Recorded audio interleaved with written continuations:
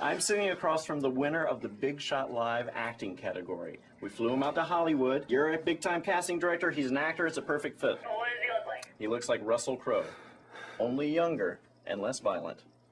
The show I'm casting is all black. Okay, well, he looks like Russell Crowe meets Denzel Washington. That would be The Rock. Yeah, exactly. And he's a chameleon. He's done Chekhov, uh, Shakespeare in the Park, Neil Simon. That's fine, fine. Send him over. Okay, all right, all right. I'll set it up. Send him over. I haven't done all that stuff. Oh, don't worry. This lady's an absolute moron. She doesn't understand anything about the business, but you're in. Don't worry. Brian? I'm still here. No, you're not.